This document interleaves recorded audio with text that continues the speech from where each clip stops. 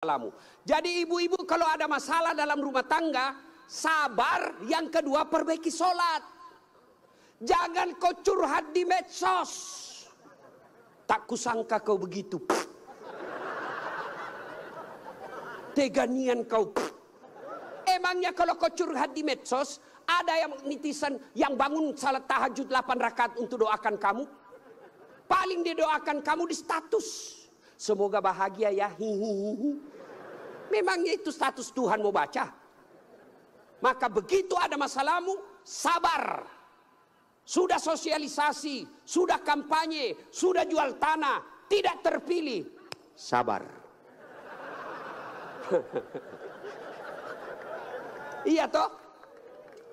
Saya Pak, dulu Pak PJ 2014 ikut juga pilwali di Makassar. Iya, Kalah, tidak. Cuma yang menang lebih banyak suaranya. Saya tidak mau dibilang kalah. Nggak mau, dia lebih banyak suaranya. Andai saja saya jadi wali kota waktu itu, saya tidak tampil di depan Masjid An-Nur ini. Allah kasih yang terbaik. Sabar, yang kedua perbaiki sholat. Nah, dalam rumah tangga pasti ada masalah. Ustadz, jelek suami saya. Sabar ibu, Allah tahu itulah yang terbaik buat ibu. Kenapa? Karena kalau suaminya cakep, suaminya malu jalan sama ibu. Kenapa? Karena ibu juga jelek. Itu memang sudah ya. Nah, satu makna dari kisah yang saya sampaikan tadi, hati-hati memilih pasangan, hati-hati mengelola keluarga. Yang kedua, hati-hati memilih pemimpin.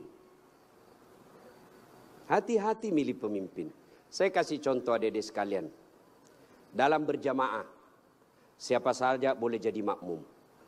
Dalam berjamaah mulai profesor sampai orang awam boleh jadi makmum. Tapi jadi imam, hati-hati. Kenapa? Karena kalau salah imam, kacau sap. Ya toh? Pernah dengar kisah? Di Tesla ini penghafal Quran anak remaja yang pergi pondok menghafal Quran. Pulang dari pondok Ramadan, Rarawe disuruh, nak kaulah didengar hafalanmu. Dia jadi imam. Begitu jadi imam, tiba-tiba ada cicak jatuh. Kena telinganya. Namanya kaget, depresi, stres, hilang hafalan. Dia ingat-ingat apa sambungannya ini. Dia tidak ada, ah, dia lupa betul apa sambungannya ini. Dia lupa betul. Tiba-tiba dia bilang, Pak Imam, tolong bantu di belakang. Dia bilang di belakang, saya juga tidak tahu. Tiba-tiba anak muda berteriak dari belakang sekali. Dia bilang, kalau begitu ya sudah, Allahu Akbar. Siapa yang salah? Siapa salah? Imam. Contoh lagi, ini waktu saya kejadian di kampung. Waktu saya masih SD. Sujud imam lama betul. Kenapa imam lama sekali nih? Eh, ada kawan saya sekarang sudah jadi guru SMP di kampung. Dia angkat kepalanya, dia teriak, wih lenyap imamnya. Bahasa Bugis dia bilang, hilang imam. Wah kacau satu zaman masjid. Ternyata imam hilang, kita tunggu-tunggu lama sujud, tidak bangun bar, ternyata dia keluar. Selesai sholat ditanya, Pak Imam, kenapa keluar tinggalkan sab? Dia bilang, saya kentut nak. Pak Imam, lain kali kalau kentut, kasih bangun kepala supaya kita lihat kau keluar. Dia bilang, saya sengaja nak, saya malu kau lihat. Nah, Siapa salah? Siapa salah? Siapa salah? Imam. Maka hati-hati milih imam. Insya Allah bulan 11 akan datang Provinsi Riau milih imam. Jangan kau salah milih imam. Kalau kau salah milih imam, kamu kalau bukan kamu yang dapat, yang pasti anakmu nanti ikut menderita. Ini Riau kan kaya. Saya pergi ke Dumai. Uh, gasnya besar. Minyaknya luar biasa. Tapi kok masih ada orang Riau pergi jadi tenaga kerja di Malaysia? Banyak kan? Makanya salahnya kalian kalau kau salah milih pemimpin. Pilih yang baik. Kalau ternyata kita sudah ikhtiar pilih yang baik, ternyata mereka berkhianat, serahkan kepada Allah. Maka saudaraku, jangan kau pilih karena dia sekampung. Jangan kau pilih karena satu partai. Jangan kau pilih karena satu suku. Jangan kau pilih karena kau tim suksesnya. Tapi pilihlah yang betul-betul kau yakini bisa menyelamatkan Provinsi Riau. Hati-hati milih pemimpin. Yang ketiga, hati-hati milih teman. Hati-hati milih teman.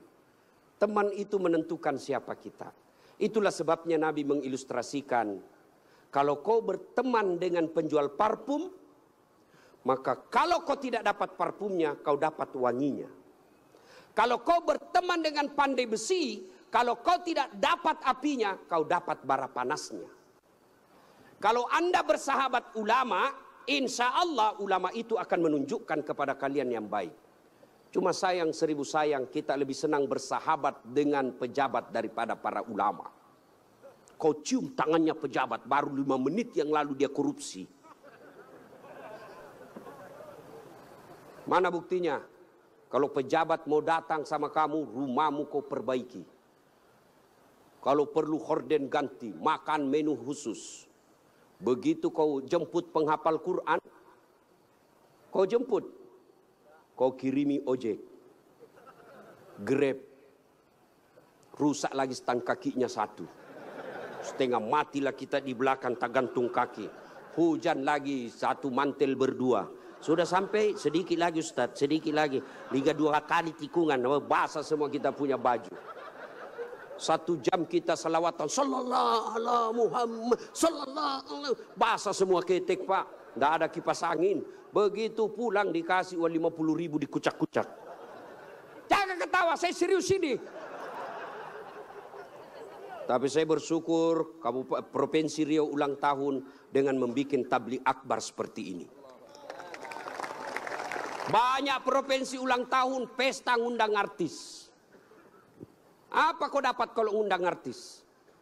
Alamat palsu. Kelihatan dadanya, kelihatan pahanya, bajunya kelihatan dada pendek pula. Enggak juga kau dikasih pegang.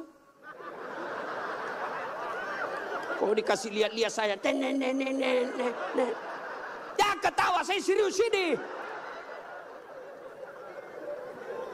Maka kita bersyukur dibawa kepemimpinan Pak PJ Gubernur sekarang ini ulang tahun Riau bikin tablik akbar.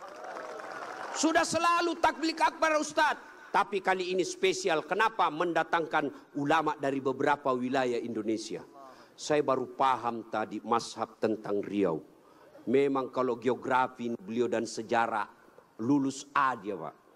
Ustadz Abdul Somad. Kalau saya sejarah lulus A minus. Alhamdulillah. Ma ibu bapak saudara-saudara sekalian. Hati-hati milih teman. Pak PJ hati-hati milih kepala dinas. Hati-hati kalau Bapak jadi pejabat besok-besok, hati-hati milih teman Pak. Teman pejabat itu belum tentu tulus. Yang banyak para penjilat. Bapak mau buktikan, rasakan saja tiga hari yang akan datang Pak. Beda sudah temannya Bapak Pak. Iya, waktu kita mau rasakan Pak, bedakan rasa waktu Bapak masuk rumah dinas dengan meninggalkan rumah dinas. Waktu kita punya jabatan, siapa, siapa, siapa, siapa, siapa, wah. Begitu hilang lewat kita dia pura-pura tidak lihat. Maka keliru para pemimpin. Kalau Allah berikan kepemimpinan, lalu dia tidak gunakan untuk membela agama Allah.